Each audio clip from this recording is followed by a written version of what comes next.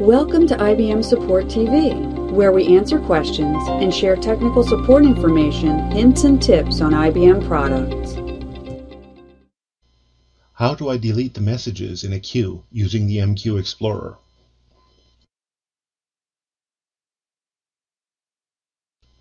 There are messages in a queue. Notice the value greater than zero under Current Queue Depth. Now you want to delete the messages from the queue. The MQ Explorer does not have a function to get a specific message. Instead, it has a function to clear all the messages from the queue.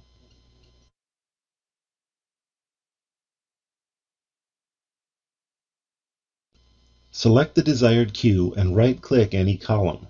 Select Clear Messages. There are two choices. The first is the equivalent of running the command clear QL Q1 with run MQSC.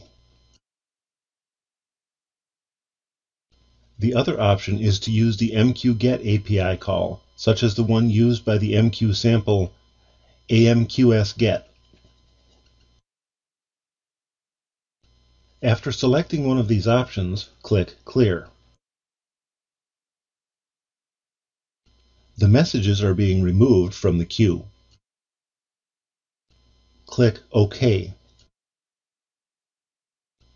You have just cleared the queue, but the current queue depth still says that there is one message. You can either wait for the MQ Explorer to refresh the displayed data or click the refresh icon to force a refresh of the displayed data.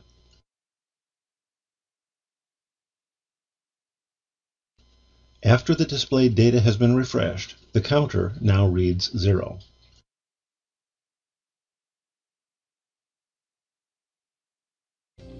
Thanks for watching this episode of IBM Support TV.